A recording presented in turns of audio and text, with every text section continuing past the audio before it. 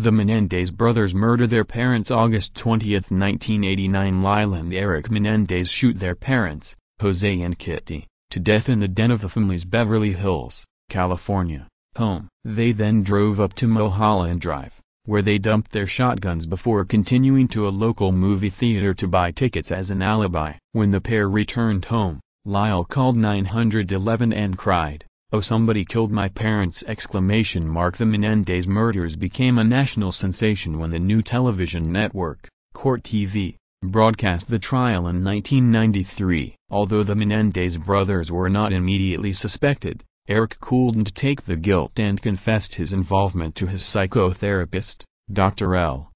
Jerome Oziel, ignoring his own ethical responsibilities. Dr. Oziel taped the sessions with his new patient in an apparent attempt to impress his mistress, but the woman ended up going to the police with her information and, in March 1990, Lyle, 22, and Eric, 19, were arrested. For the next three years, a legal battle was fought over the admissibility of Dr. Oziel's tapes. Finally, the California Supreme Court ruled that the tapes could be played. When the trial began in the summer of 1993, the Menendez brothers put on a spirited defense. In compelling testimony lasting over a month, they emotionally described years of sexual abuse by Jose and Kitty Menendez. They insisted that they had shot their parents in self-defense because they believed that Jose would kill them rather than have the abuse be exposed. The first two juries, one for each brother, deadlocked, and a mistrial had to be called. For the most part, the lack of a conviction was considered a travesty. At the retrial,